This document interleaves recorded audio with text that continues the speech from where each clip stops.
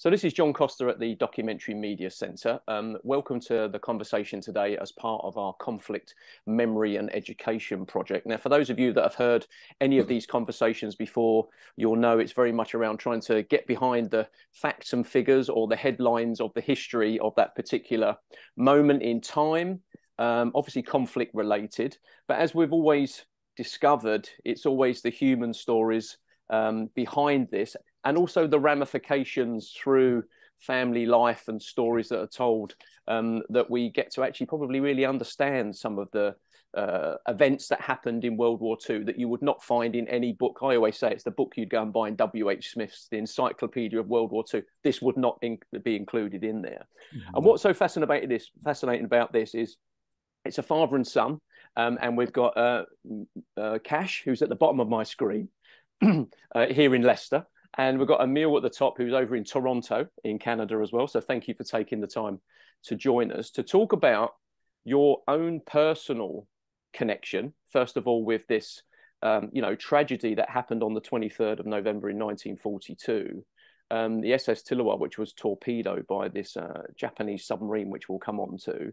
Um, and obviously, tragically, people lost their lives. There were survivors and there's survivors' tales. But again, sometimes it's not just the survivors, it's the people who lost a family member in the disaster that ultimately are the ones that are trying to maybe understand it a little bit more and find information because they don't have the survivors in their family as a testament. So, um, um, who, who, who wants to go first? Who wants to go first? well, look, um, John. First of all, it, yeah. um, thanks for inviting us. It's it's marvelous that we can join you today, John. Uh, of course, as you said, you've introduced me. I'm from Leicester. I'm a Leicester boy. I grew up in Leicester, uh, although I was born in Uganda, uh, in Jinja, but we came many moons ago, back in the late 60s. And uh, I grew up here. I was educated here. And of course, I'm a broadcaster journalist for Sabras Radio, which I particularly enjoy. And, uh, you know, with my son, as he's going to introduce himself now, um, we've got this massive project with that we're doing at the moment in relation to SS Tilawa. Okay, excellent. So, Emile, do you want to introduce yourself? Yeah, sure. Thanks so much for having us. Very generous of you to allow us to share our story with your audience. Um, I was born and raised in London and uh, went to school there, played cricket there, uh, worked for Croydon Council for six and a half years predominantly doing project management uh, in the chief executive's office.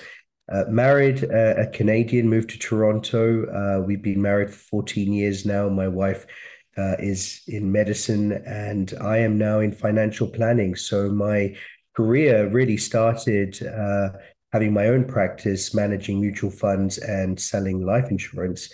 And I did that for about six and a half years. And then I ended up working at one of Canada's largest banks, uh, focused on wealth management strategies, and uh, was there for four and a half years at TD Private Wealth. And now I'm working as an account executive uh, at Canada Life. It's uh, one of the oldest insurance companies in Canada.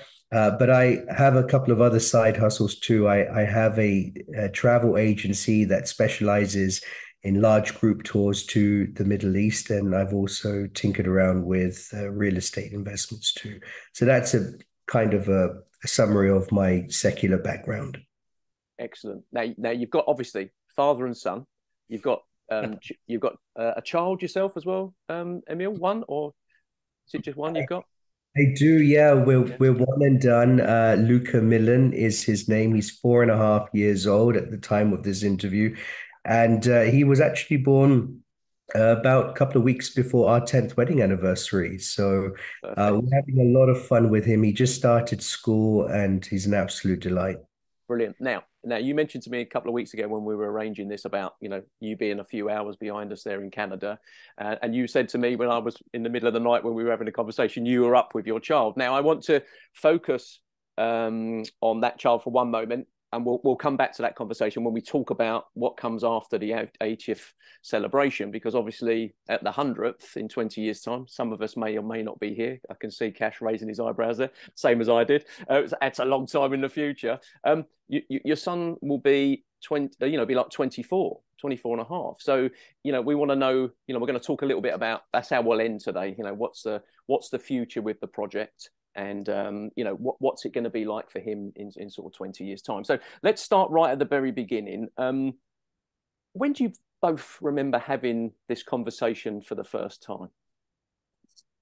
in relation to the to the, to, the, to, to this to the disaster. Yeah. yeah. When do you when do you when do you was there a specific time that you remember having it? Was it finding something within the family? Yeah. Was you sharing a story? Yeah. How how old was Emile when you spoke about it? Yeah, I mean, uh, maybe I can just start this one off because um, uh, a few years before my father passed away, um, you know, I, I, I it's funny because I started to have more of a bonding with my father in the later years because uh, you know, as Emile said, we were based in uh, London at the time, uh, South London, West Norwood area, and um, have it be that I kind of like moved back to Leicester, and then I had more of a kind of a rapport with my dad. You know, he he he spent a lot of time talking about the past, you could say.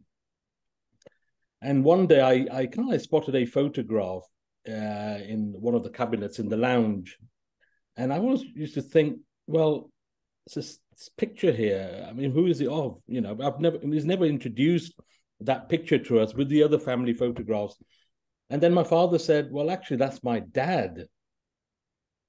And I thought, hold on.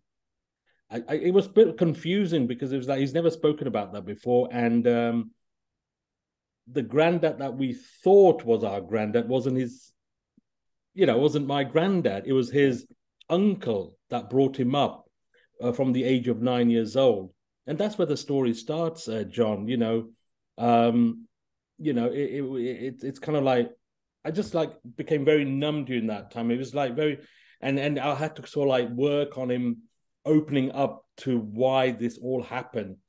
Uh, but the lovely thing about this is he was my my father was very close to Emile, and I think he found that easier to talk to. He he was a more of an easy person to talk to and bring out those little elements of him growing, my father growing up in India and Africa, and and the person that actually brought him up and gave him a name, uh, gave him a family. That even today we we class them as our family, our cousin brothers, our aunties, uncles, so forth. But the real father, the real grandfather who perished on the SS Tilawa, that's who he was. That picture, and that's what kickstarted the journey. Yeah, see, I, I think it's amazing. The more conversations I have with people, there's normally a moment, uh, in, invariably, you know, like you said, involved in the family, where someone makes a comment and then someone turns around and goes, "What did you just say?" That's something I've never seen, heard, has ever been mentioned, um, and I think, you know, what what comes after is the thing sometimes that's the most fascinating because it's how people remember it you know, I mean, a, you know, a particular disaster, or they're numb to certain things. You know, trauma. We were talking about you, the whole kind of Uganda fifty thing a minute ago, weren't we? About mm. that sort of, you know, that kind of collective trauma. But people just kind of get on with their life, and it's only when you get a sort of uh, a commemoration moment that people start reflecting back and allow themselves to think. Normally, when they get to a certain age, as you said there about your father, you know, what I mean, he'd he'd done his living, if you like. You know, he brought his children into the world and all sort of stuff, and then you start getting a little bit reflective. So, what what age were you, Emile, at this time when you were talking to your grandfather about these um, uh, about these events? So, leading up to to that moment, um, and just going back to what my my father was alluding to, my father had that conversation with his father towards the end of 2007. So I would have been 20 years old at the time. And I can't remember how my father was able to locate this information specifically in terms of search words and the name of the ship, but I remember getting a text message from my father saying, This is the ship, this is the passenger list, and this is Bapa's dad's name, Nicha Bapa, Chiba. And we saw it on the passenger list. And that was that was a monumental identity recheck reset moment for the two of us because we're thinking, hold on, here's a, a real human being who had a life, a marriage, a child, a place in a village in India, was obviously trying to do something good for his family. He's gone, you know, it lost out in the middle of the Indian Ocean, and nobody's ever done anything about it, said anything about it, or tried to even preserve his memory. And so at that moment, we're thinking, you know, sometimes as as as people, we go from one extreme to the other. We overcompensate. Maybe it was because 50 years ago we we didn't really place emphasis on emotional intelligence or kind of the psychological aspect of our people. Maybe in the Indian culture, we haven't done a great job of communicating our thoughts and feelings. Maybe some families, some communities um, haven't prioritized protecting that heritage and trying to transfer that from one generation to another. I mean, it can very innocently and ignorantly be done when you're moving to a new country, you're trying to learn a new language, you're dealing with perhaps racism or other economic hardships. And the last thing you want to do is remember where you came from or to keep that at the forefront of your identity. And so now here I am you know, in my late 20s, uh, getting ready for marriage, getting ready to immigrate to Canada.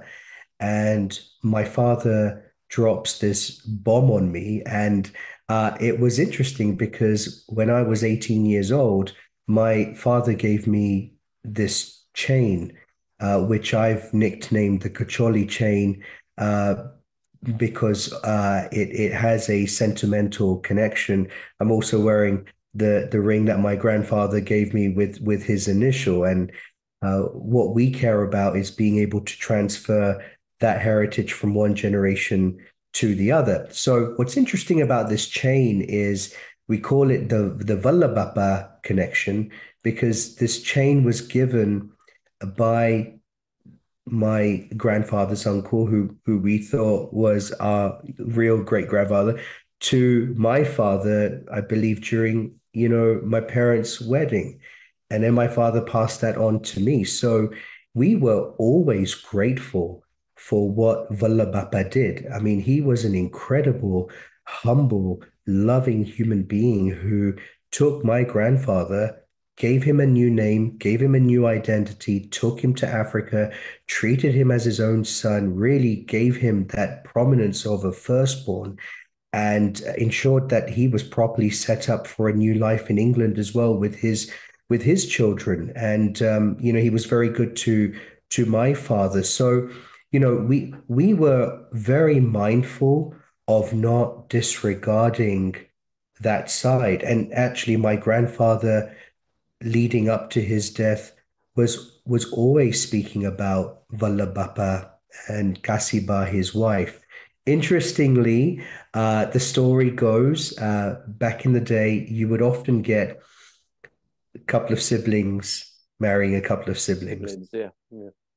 And so Vallabhappa, uh, son number one, and our great grandfather, son number two, from the village of Kacholi, marry two sisters, uh, Ben and Mancha Ben from the village of Kansar. And, and so there was always a, a close bond between these two houses. They, they lived next to one another. And so my grandfather, now to answer your original question, uh, started to share these little moments during his childhood and helping me to connect the dots. You have to remember that he was born on March 1st, 1933. The Tilawa tragedy was November 1942, so he was nine years old.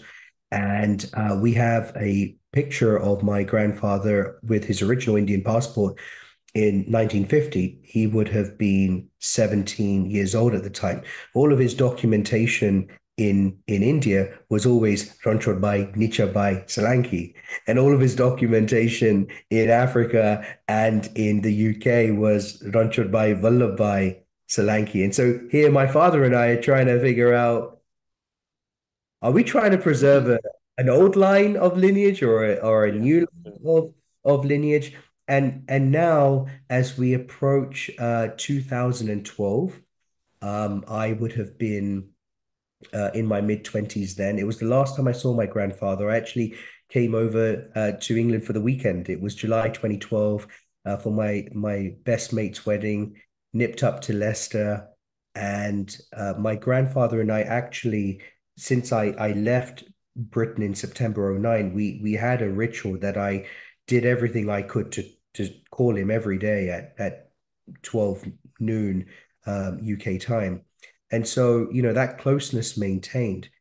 But when I was there with him, there was this adamance, cute also, you know, but adamance. Find the ship, find my dad, find the location of the body over and over and over again.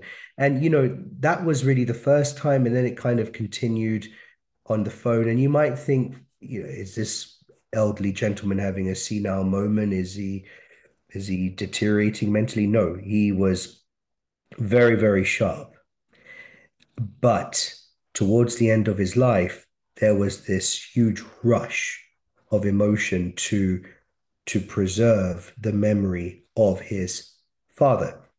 And you know, what are you supposed to say to your grandfather uh, who's who was at the time 79 years old? Oh, yeah, I, I can't really live up to that commitment, but sure, we'll we'll try.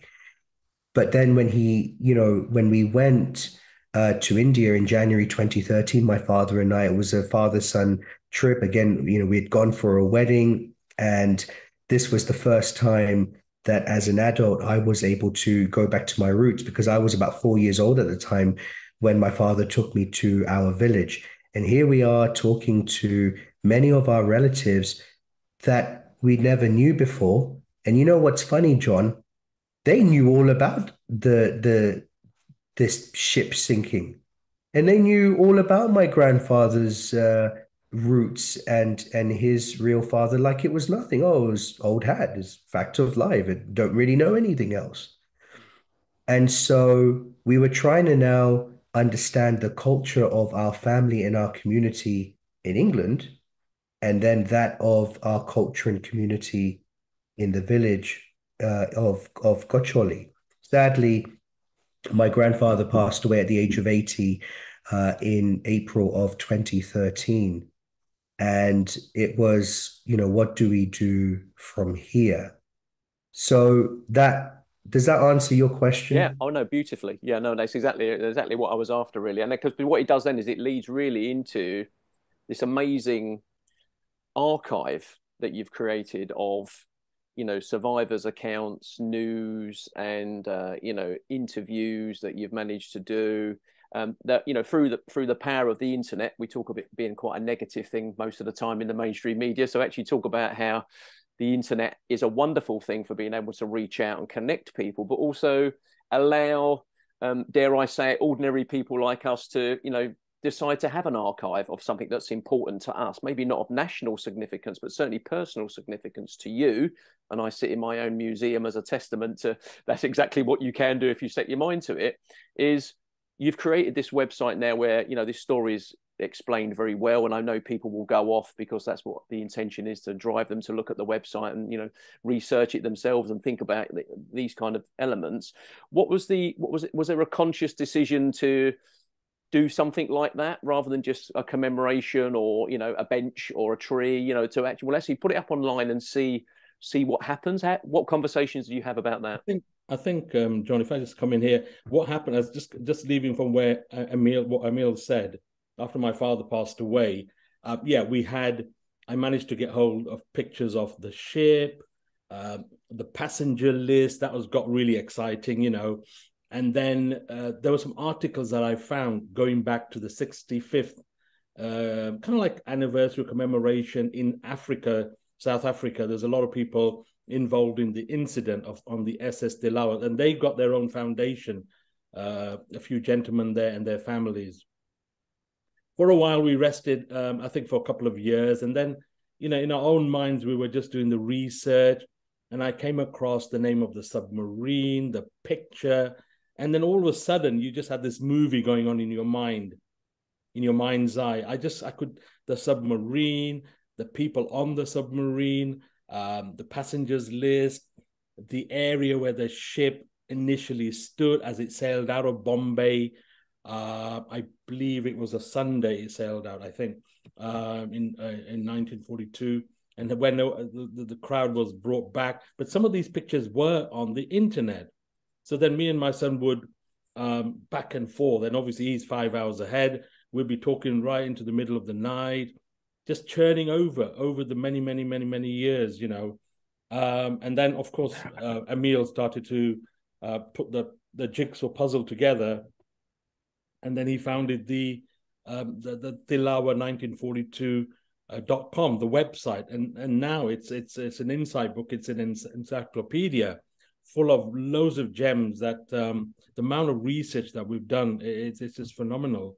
Just putting everything in there all related to SS Tilawa, which wasn't there, you know, only just 10 years ago. So um, I think that's one moment we really feel proud that we've actually got something set up. Oh yes, there we go. Yeah, I thought share the website here because I mean, it's not it's nice to come across something that's so one so well put together and extensive and i think it's a kind of testament to your commitment both of you to be able to present the story with as many different you know angles as well. I do like the fact that you know you've got not only on sort of what it's about and why you're doing it and acknowledging people but also you mm-hmm. break it down very well. And you also value the work that's been done by others because it's almost like a joint investigative uh, approach from people. And, and particularly when you get into sort of you know the passenger information and things like you know the passenger list who's missing survivor accounts. I think it's really important that you present all of this information, not necessarily for people to, it's for them to make their own judgment, find out themselves, you know, immerse themselves in the story themselves, rather than sort of, you guys are not necessarily presenting the truth. What you're trying to say to people is, look, you know, these are some facts that we know from our personal perspective. Your story, your family stories as a survivor or someone that's missing is as important. You need to kind of join in. What kind of feedback have you had from the site from people overseas that you've reached out to or met or anything like that? Well, there's there's there's two things. Firstly, actually, if you click on the reviews, uh, that will perhaps answer your your question on the uh, initial reaction that we that we had. So, of course, you can see there uh, Keith Vaz, uh, who was an MP in Leicester for many years. He's actually interviewed us twice on his talk show and um, we've had some maritime lawyers and other family members that have reached out. So that's that's one. But secondly, we've had families reach out to us now because of the website. Just today, I received an email of another person from the Arya Samaj in the uh, Palmer community on my mother's side um, whose father in law was actually on Tilawa. He survived. We had the Patel family in Birmingham who said, We didn't know anything about this ship. We have always wondered what happened. We lost our grandfather on that ship. Thank you for helping us provide closure. Uh, we met two families um, about 10 minute drive or so from the house that I lived in for 22 years in South London. One gentleman is the last known survivor, Mr. Arvind Baijani, who's now 83 years old. He was three years old at the time when his mother wrapped him in a sari and jumped into a lifeboat. And, you know, he his wife and daughter to the commemoration this month.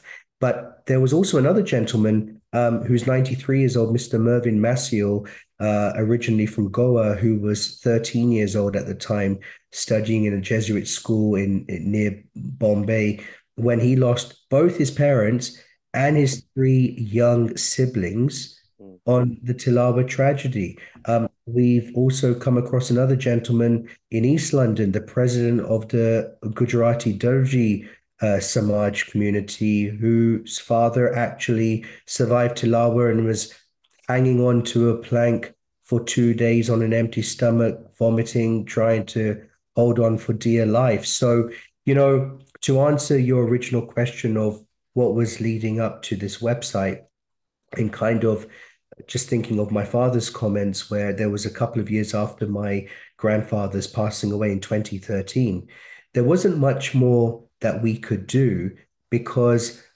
apart from the SS Tilawa Foundation website, a group of three Muslim gentlemen from South Africa who had some family members who survived and some family members who perished. Um, and they had a couple of photographs and the passenger list, but there was nothing else really out there. So, what was the next milestone? Well, it was in 2017 uh, when we found out, you will not believe it, that a British uh, company, uh, Argentum Exploration Limited, I think it was founded by a, a, a well known racing driver, Ross Hyett. It set up a company to go and explore um, where in the middle of the Indian Ocean the silver bars, uh, the silver bullion um, of, of Tilawa was. And he was successful in being able to, uh, you know, complete the salvage.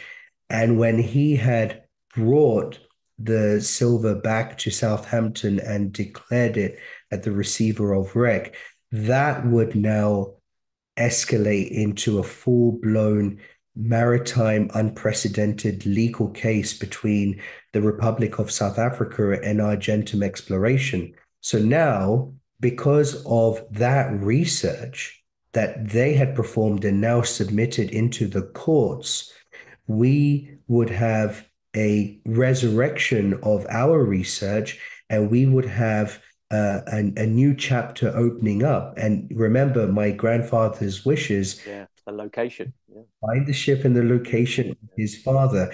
And so, you know, we were able to reach out to the representatives, legal representatives of uh, of Argentum Exploration to let them know our interest, our connection to the story, um, and that really was the motivation to then start the website tilawa1942.com and to become a global ambassador of the story, to create this centralized, comprehensive resource, um, and to now use this court case as leverage to get attention around the world and to get other families uh, coming forward.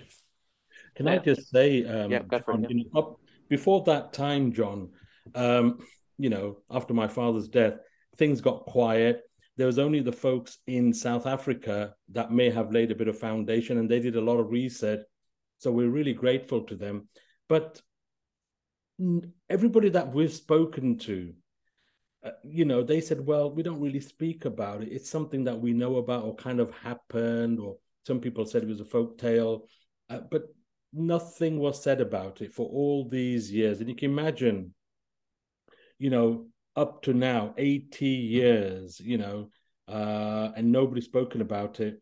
My dad did mention about uh, his real father, Nichhabhai Chibabhai Solanki. He traveled with another companion, his cousin brother from the same village. They're about the similar age, mid 20s, 25, 26, etc. Now he survived. Of course, my granddad perished, but even then, he never spoke about it as well. All this time in Leicester, he was the only survivor on our doorsteps, you know, all these years. Um, so, uh, you know, that's something we'll never know how they traveled from Gujarat on the train or whatever to the ship. Where were they on the ship? What were they doing? Only this one person who was uh, part of the family um, tree, you could say, fam- they're, they're part of our family uh, Mr. Devjibai Bagabai Solanki. Uh, obviously, he's no more, but it's something that me and my son talk about all the time. I've only, you know, I'm sure he would have mentioned some stuff to my dad because my dad always used to say little bits here and there. that Bhagat was bitten by fishes. He was on a wooden plank part of the ship, floating for two days. And we always kind of like, it's horrific. That must be horrific. Two days in the sea, in the dark, throughout the day. And then they get picked up by, uh, I believe it's the HMS Birmingham. Uh, there was another ship as well. Um, Carthage, I think. Yeah, Carthage, Carthage, SS Carthage. Yeah. Then they were taken to the Ballard Pier, uh, where which, where the port is in Bombay and still is. Um, and so he would have known. He went back to the village. Apparently, according to record, they waited for a month for my dad's real dad, our grandfather, to come. He never came. And that's where it stopped. I think after that, it became a bit of a taboo topic. Mm. So today, now, you know, we are at the 80th anniversary in the, I think the clock said, is it 17 days or something like that? 17 days, yeah. yeah, you know, and wow, what a journey, John. What a journey, you know. We've just we've just been on all, all cylinders firing, you know. Um, and we, you know, our goal was to um, remember everyone who's passed away, and so many over 600 survived, but they all leave a story behind. Absolutely. I mean, that's 600 threads, isn't it, that kind of go off and change the world. How many people's people. lives were displaced, yeah. the trauma. And I think Emile spoke about uh, an elderly gentleman, I think he's 93 now, in South Croydon, Mervyn, lovely gentleman. Um, and he lost five members in his family. But when I when I, I went to see him a few weeks ago personally, and there's that dreaded kind of like trauma you know you've lost five people in your family you're only a teenager where do you go back in 1942 mm. so yeah i mean you know we we we want to remember everybody for this 80th um, but um, i think the goal we had when we first kicked off this story was what my my father said to my son you know emile and and we want to remember our granddad Nichhabhai. He was forgotten all these years, and I think we have this goal that he will not be forgotten. You know, he died tragically, but I, you know, nothing was said about him afterwards. And as a family, you know, my sisters, my brothers, you know, we've just been left in the dark for all these years. Mm-hmm. You know, and I just feel it's it's very touching for me. You know, and yeah. I think um, we're looking forward to the 80th in a few weeks in Bombay. And I, and I... Now, now, now, as we build as we build up to that, obviously you've been getting some amazing media coverage. I'll come to you in a second, Emile. You'll be getting some media, amazing media coverage. Now, I wrote I wrote it all down because there was too much. Too um, much. Um, Eastern Eye, South London Press, Sunday Mumbai Mirror, The Times of India, the Sunday Midday Mumbai, Sabras Radio, obviously, with the legend that is Don Kotak. Uh, ITV News London recently, obviously, with the survivor that you were talking about, and all the various little conversations and stuff that you've been having, and obviously with me today, which for which I'm very grateful. It it kind of builds up very nicely to the 80th. But of course, all of this media is generated through your commitment to be able to mark the event you know with no kind of official support as such or official funding. I'm sure you gentlemen like like myself here you know you fund it yourself because you're passionate about it and you want people to know that it happened or it existed. What's what's your what what do you really want to come out of the 80th um, uh, event at the hotel in you know in mumbai? you know, uh, the thing is john uh, initially and i'll be honest when we started this off uh, with me and emile you know, I kept saying, you know, I've got to do something charitable in the village. Um, let's recognize it in this, you know, let's do this. We were having all these um, brainstorming ideas, but very quickly, because of my contacts and the uh, the influence that Emile can provide, um, it was getting bigger. But we just kept banging on the doors, you know, of media. It, it's, it's been hard work, but I think in the last, um, in particular, three months, it started to pick up soon as we started to find these individuals and these individuals contacted Emile and me, and it's got bigger and bigger. But the media has been tough, even with my contacts, it's been very tough, not just in the UK, but in India as well. But I think it's been like a jigsaw puzzle, one added on top of like a uh, building the whole picture and try to get PR. And remember, we're doing the PR ourselves. You know, we don't have a budget for this. So from a small thing, and maybe a dinner with a local uh, family in the village, and um, you know at that time it was just me gonna go because of budget and everything else. But soon we realized that hold on, you know, it's already in one or two papers. We've got to keep going. We're not going to give up. We don't want. We, it's not about just Leicester or a little corner in the village in London or wherever. This has to be worldwide because people are have you know traveled internationally now. You know who were on the ship, their families, their children, etc. And and that's proof in the pudding now where we are at this stage today. Um, so yeah, I mean it's it's it's it's and and we won't mention the other um, uh, press and media that's happening in, over the next I would say seven to eight days, and we're really excited about that because it's really now, uh, you know, we're just not non-stop. It's just non-stop interviews and writing quotes and so forth for India and here, John. Hmm. It's a kind of getting up that head of steam, isn't it? So, yeah. so Emile, I'm going to come to you now because we mentioned your son earlier, who at the hundredth anniversary will be 24. What would you know? What's your vision from the 80th? We spoke about your, your dad there, what you'd like to see, um, you know, the event and stuff. But you know, in 20 years' time, what what are we talking about? Are we talking a small exhibit at a museum in in Mumbai? Are we talking, you know, what are we going to do with this archive? If more people come forward now, does it keep going? Is your commitment to keep the keep the website going? Yeah, I mean, my my perspective was once we knew the location of the ship and we had a bit more leverage with access to information, and now we have the website and more families come together, we would have the first opportunity to memorialize the loss of life, to acknowledge that the tragedy happened, to unite three countries uh, South Africa, UK, and India. It really is a British Indian story. Um, it, it's a story that belongs to many Indian people in England. Uh, a lot of the passengers on Tilawa were Gujarati, so you've got that perspective too. Yes, there was that motivation of um, making sure that Nicha Bapa had an identity. It was one of the first things I actually did go onto the rec site official profile for SS Tilawa, and some of the passengers there have been added and they have their own little profile.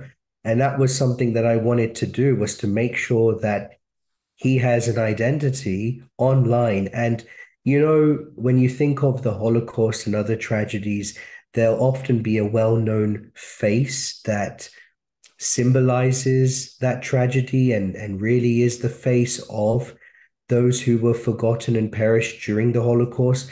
Very similar to uh, Tilawa, really. We wanted our great grandfather, Nicha Bapa, who drowned, to be the face of the tragedy. And so we feel that we've now accomplished that. Um, as we go into initiatives, it's difficult because not everybody's interested in the story. And those that you think might help you end up not being able to deliver. And so you're constantly being creative to network, to sow seeds, to branch out, to get to know new people. And you're wondering, you know, which country is going to lead the Tilawa story? Is it going to be India? Is it going to be the UK? Is it going to be South Africa? Well, it was Britain that kind of instigated the the interest again because of the court case. And so, you know, I thought, well, let's go to the Greenwich Maritime Museum. Uh, let's see if they've set up any oceanic galleries. Um, but then, you know, hey, it's a Second World War story, so maybe we should shift it to the Imperial War Museum. And then those two museums haven't figured out, you know, who wants to take it and uh, and and it, it's just one door closing after another. And so then we thought, well, how about India?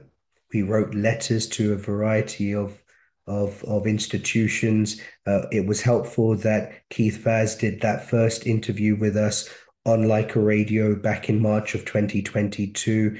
That gave us a bit of a platform to leverage off.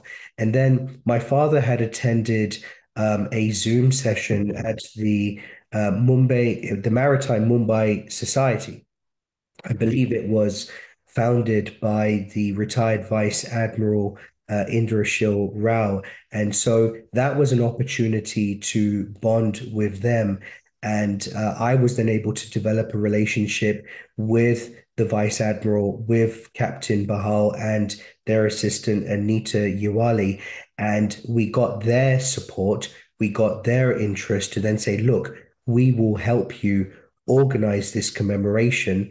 And we thought, well, where could we have it? And very quickly, it was evident that the Ballard Estate, the Ballard Pier, the Grand Hotel is the perfect spot because that's where Tilawa last left. That's where the survivors came to. The hotel was in usage during the middle of the Second World War, and uh, it still had that British colonial vibe too. Uh, so that that was really the the build up. We also wanted to manage the family's expectations because we felt there was this noose. We were not allowed to talk about Nichabapa period. We were not allowed to memorialize him and to remember the tragedy and to make sure that this becomes part of our family identity and also an aspect of our uh, Samaj history too.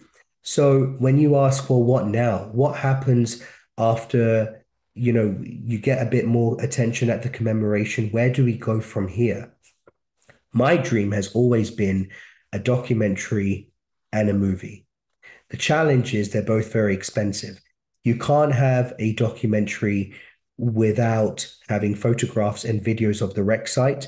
And so you very quickly turn to, okay, let's write a story, let's get a script and let's pitch a movie idea, which for me would would be quite easy to do. Uh, there's a lot of nuances and complexities to give um, a variety of audience good entertainment and education. Um, and it's quite expensive to get a subsea vessel to go out in the middle of the Indian Ocean, not close to anything, uh, 3,500 meters deep. That's over two miles. Uh, it's not safe. It's not easy. And we're also still trying to build a trusted rapport with Argentum so that you know they will share whatever they have and at this point we haven't been successful i don't think anybody has been because of the tension and the complexities around the the the, the legal issues there. But if we have that we can also learn more about what happened. There would be some clues as to you know who was responsible for what took place what happened in that 60 to 90 minute period between the first and the second torpedo. Uh, so, continued research, leverage to get access to perhaps documents from the days of the empire, because for in, for example, you you think of Mackinnon Mackenzie, the the old office there, the ticket office at the Ballard Estate. They had a flood in the mid 90s, and pretty much whatever documents they had was destroyed. So when India became independent from British rule, did the British take their documents back from colonial period to England? How do we get access to it?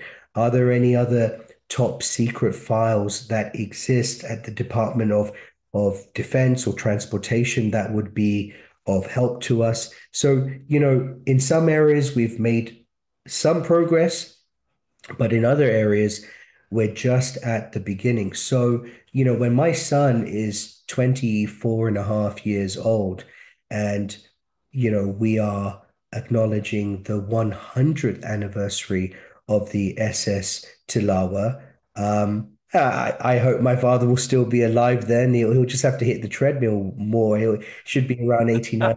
I feel I feel like I should stop this uh, this recording yeah. now and let us just have a conversation about uh, yeah Kash's next uh, fitness regime to make sure we get you to the 100. Yeah. I think what um, I think what Emile said about You'd be around 69 years old. But just just to finish uh, my my thought here to John's question, um, I would like Luca. You know, you you you don't know what your son is going to become. You want to expose him to lots of interesting opportunities, and you want to open many doors to him. He has to make his own choices and live his life. But what we do hope is that he will have the appreciation for his roots and his heritage.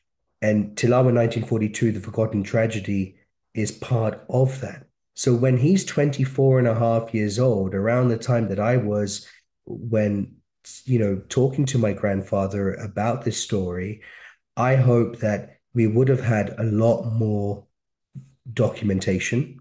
I hope that a lot more families will come forward. I hope that by then, both maritime museums in Gujarat, Mumbai, and in Britain and South Africa will have a little section dedicated to the Tilawa tragedy. And I hope that a movie or a documentary has also been made from that. You look, this this initiative, this project, this campaign is not about us uh, trying to get a few moments of fame. Uh, we we take it as a British Indian responsibility um, to our grandfather and our great grandfather uh, to put Tilawa back on the map, to make sure it's prominently featured, to be custodians of the story, uh, to make sure that we we continue to knock on every door, that we continue uh, to make sure that you know uh, that the other families um, have their opportunity too to share to share their side a real collection of stories, isn't it? Kash, what were you what were you going to? I was say? just saying, um, yeah, you know, like obviously we're coming to the 80th, but all along this journey of research and knocking on doors, you know, we've had brainstorming ideas, and as Emile just alluded, things like documentaries or making a movie, uh, or even a stage drama. And for those who are or will be watching this video or listening to the audio of this, if anybody's interested, please do get in touch with our foundation, you know, uh, tilawa1942.com and share your ideas, especially script writing, mm. especially stage uh, in particular. That's something that I, I think I'm going to be looking at doing. Um, I can see it being an amazing uh, stage production. Uh, I, I don't think it's just the 80th. I think moving on, just being creative and keeping it alive one way or the other. I think initially I'm a true believer of true stories, and I think when we do watch a true story, whether it be a documentary or a movie, initially it may seem a boring thing, but as soon as you get gripped into the movie, isn't it? You end up saying, "Wow, what a movie! Wow, I didn't know this happened." It's just like got me on the edge of the seat. And there's so many stories, not just in Hollywood, but in like in Bollywood as well. They're mm-hmm. recently they've made a lot of true stories, and they've become hits. I suppose because of the songs, but nevertheless, they they they've become very um, moving uh, kind of movies. But this is not just about, you know, uh, as Emile said, fame. It's really bringing this story to life, and I think there's a lot more to go. There's more mileage in this than just doing the 80th. You know, 80th is just to remember and say, hey, we're back on the map and we haven't forgotten you guys, you know, wherever you are in the world, the families, and certainly those who perished. And we yeah. and then and then John, you know, we're having it on the day. Yeah. 23rd of November. We're actually pitching it on that day. So so you know, we're looking forward to it. It's been a lot of hard work and a bit more hard work to come yet. absolutely, absolutely. Well, listen, I think you guys have done a, an amazing job. Um, you know, and, and I genuinely make, I mean that as well because, like I said, I'm, I'm very fortunate that what I do with what I do here at the museum, archive, and library, I'm able to run the conflict memory and education project specifically to turn around and say, well, look, we know what happened in that conflict, but there's all these human stories. How are we getting that into the memory of that conflict? And how do we educate people? Now many people turn around and go well they wouldn't teach that in class and they learn about henry viii and the mary rose and all that sort of stuff. But it's it's not education in its classic sense. It's more about the fact that it just exists for people to have those conversations. And just coming back to what you were saying there, Kash, about uh, stage performance, you know, uh, and because obviously as a documentarian, it'd be like, yeah, let's make a documentary. Um, and then you've got the sort of life of Pi kind of, you know, all at sea, uh, sort of uh, big blockbuster over here. Whereas that stage play, sometimes I think it allows you to have that human connection because of the way that you engage with the medium. It's yeah. not on screen. You can't watch it on your laptop. You're in a theatre. And some of the stuff that's been done recently about Uganda 50 um, and some of the other uh, yeah. events and stuff that we get to cover as journalists, uh, as, as, you will know, Kash, you know, it's great because you get to go and you're like, actually, you're, you're almost like feeding off of what the room is. And then a room full of a connection to the survivors or or the people that lost their life in the charity uh, in the tragedy is a, is a really interesting way of coming in. So I think something will come out of this. I hope so, based on the fact that you're just providing this fertile ground for it to grow mm. from, and, and, so and, and you're willing to collaborate. Yeah, there's so many stories, John, within the story. So it's not just about my grandfather. Everybody's got a story to tell yeah. that yeah. were on SS Tilawa. So yeah, I mean. Uh, uh, so I mean, I mean, Emile will tell you what we're going to be doing um, on the eighth, eightieth. It's it's become. We thought it might just be a few people, but now I think we, you know, the guest list gets bigger and bigger. So it, it, we're really looking forward to a very special evening.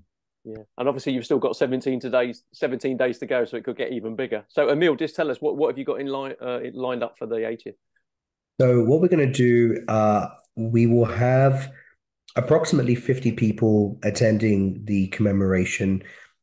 The day before, we'll have the opportunity to have a radio interview, to have a press conference in the afternoon.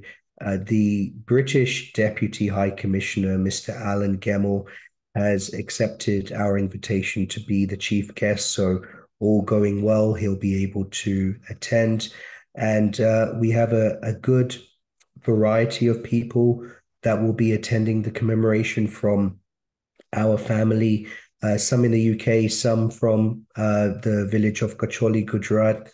And uh, we also have, of course, Mr. Irvin Baijani, the last known survivor who has booked his ticket and he will be attending with his wife and daughter. The, the Patels that I referred to earlier from the Midlands, they will also be attending. So it's going to be a program of between 45 minutes to an hour. And there'll be an opportunity to provide a keynote address to summarize the, the big picture, uh, some of the interesting connections uh, that, that we've uh, observed, and uh, also some interviews pre recorded, some live. And then we'll have a, a little dinner afterwards. And yeah, we're we're really looking forward to it actually. Even the day before on the tuesday november 22nd we'll have an opportunity to do a walk a tour around the ballard estate and try and figure out well where did my great grandfather arrive on you know on at the train station uh, coming off the flying rani from Navsari? Where did he buy his tickets? Where did he potentially sleep and have that meal? The the Iranian cafe down the street that's over hundred years old. Did he perhaps get a chai there? Um, you know, did, did did any of his family come to see him off, etc., etc. So we're just gonna try and relive the moment, his last time at home, and then of course what it was like for the survivors when they get to, to be with Mr. Jani, and to think that he was three years old coming back off HMS Birmingham, that's going to be a privilege for us to be with him in that moment. And also knowing that his other children and grandchildren can't be there with us in India, but we're there with him. I mean, that's really lovely. Yeah, it's good. Well, listen, um, I wish you well for the next 17 days um, and then the event itself. And uh, listen, you know, when you get a, a moment to yourselves, amongst your busy schedule, maybe between now and Christmas, and you want to come back and you know we, we can do a, a further conversation about that. If that's mm-hmm. helpful, it's great. It's, it's excellent for you to share. I think you know certainly looking at um, maybe what's been done previously with the um, the Lusitania that was sunk in 1915. That was a, a passenger ship that was sunk in, in obviously in World War One. Um, you know, almost how, how is how, some some people that are ahead of you, if you like, when it comes to how are they preserving it, what they're doing. There's a lot of lessons to be learned, I think, by looking at other uh, tragedies at different times in different conflicts as well is definitely one I would uh, encourage you to do. And of course, you know, we're, we're here to support you uh, as much as we can. And it's been a real honor to speak to you both today. Thank you very much, Kash. Thanks very much. Yeah, thank you, John. Thank you very much. And thanks very much, Emile. Appreciate it. Thank you.